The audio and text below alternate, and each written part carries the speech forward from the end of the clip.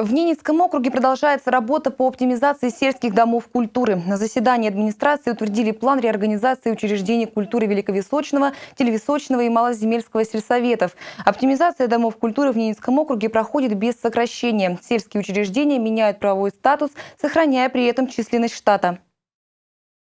Реорганизацию семи домов культуры было решено провести по методике Министерства культуры. Согласно ей, в поселках с населением меньше 100 человек работают отделы, если жителей больше сотни – филиалы. В итоге центром сети учреждений Великовисочного муниципалитета станет Дом культуры села. В Ламышском будет открыт филиал, в Пылемце и Щелина – отделы. Как отметила Марина Смаровоз, реорганизация позволит сократить административный штат и увеличить количество культработников. При этом сокращений среди людей не будет.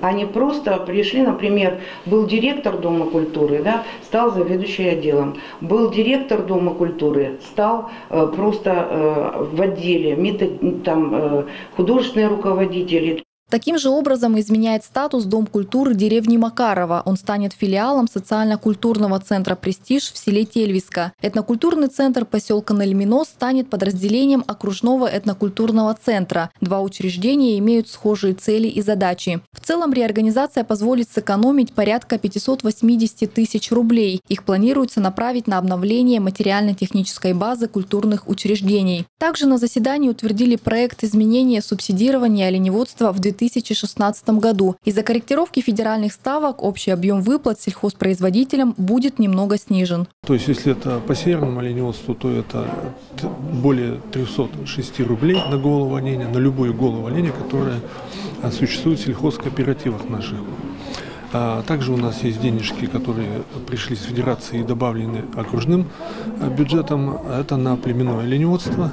Это на сегодня каждое племенное хозяйство получит на условную голову 1833 рубля 0,4 э, копейки.